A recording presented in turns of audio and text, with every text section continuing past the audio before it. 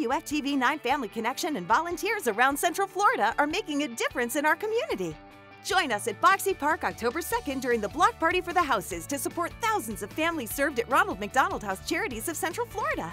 This Family Fun Day will include food, entertainment by local talented artists, and the crowning of the winner of the Block's Rising Star Talent Competition. Join WFTV 9 Family Connection for the 26th annual Step Up for Down Syndrome Walk on Saturday, October 12th at Lake Eola, benefiting the Down Syndrome Association of Central Florida. Your support makes our community a place where individuals with Down syndrome can thrive.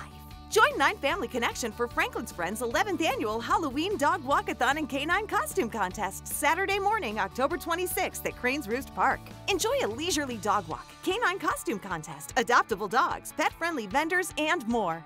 9 Family Connection, serving the community for over 25 years.